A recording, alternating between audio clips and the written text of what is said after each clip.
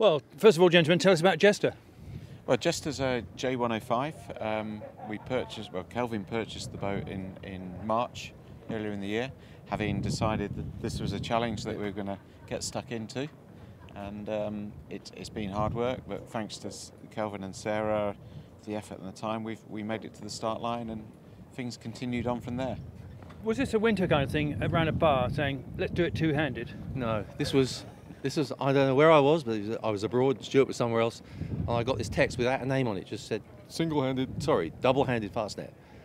And I took one look at it and said, one word went back, yes. And that's how this whole stupid project started. There was no thought, no pre-thought, no wanting to actually.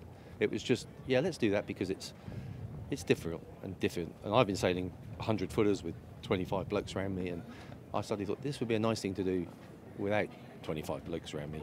Not that they're bad blokes or anything like that, but it just it would be different. we've got significant, significant birthdays next year, and, and, we've been looking for a challenge, and and I, I sort of well okay this would be quite interesting, and. Yeah. Um, last last year's victory in the double, with the double-handed crew with the French team was well, that's quite interesting, and and having done the fastnet several times between us, um, it, it, seemed like the right thing at the right time. Yeah.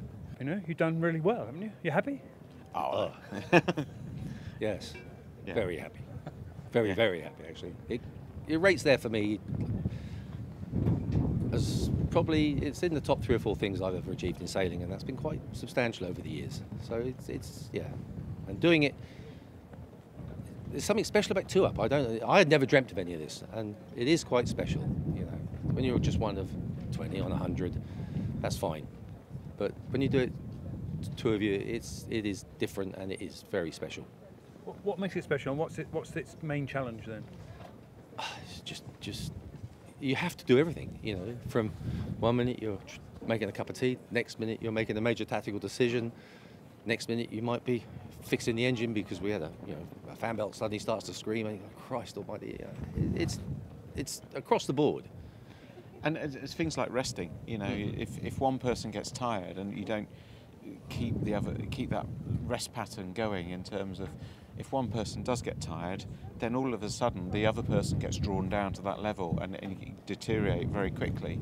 So you're very conscious that you know uh, we, we share the workload, we share the decision making, you, you chat through everything, and, and make sure you know discussions around how you're feeling, do you need rest, yeah, okay, and and you know also having confidence in what each other are doing because you can't go downstairs and get your head down for an hour if if you can't rest because you're worrying what's going on, on up up the top on the deck, and and it's it's just having absolute trust in each other and knowing that you're both equally as committed to the cause of moving that boat faster down the track. It would be very easy to slip off the pace when the other guy's asleep just go, you know, because it got quite difficult for a while in the second half of the Irish Sea crossing. It was raining, it was bumpy, it was windy. We probably had the wrong sail on. You can't just change that sail. You can't send, as we normally do, six blokes forward to, to sort it out.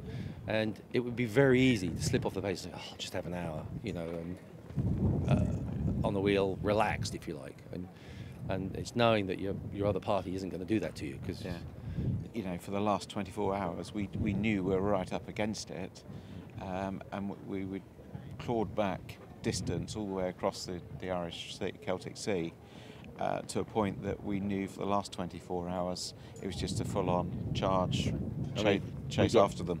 We'd got reasonably rested because we knew the last 12 hours from the Scillies was going to be a, a long downwind leg. It's 140 miles, 110 miles, something I can't remember. That. And we rested quite well, knowing that as we turned the corner, Stuart would go on the wheel and I'd go on the trim, and that's yeah. how it was for the last 12 hours. This this rest is quite relative, really, yes, isn't it? Yeah, it is quite relative. an extra half an hour's kip. yeah. well, well done, guys. And uh, I think uh, uh, I'm right in saying you're the top British boat overall. Top British boat, uh, fourth overall in the race, and um, first double hander. So it's very special. Job done. Thank you, Steve. Thank you.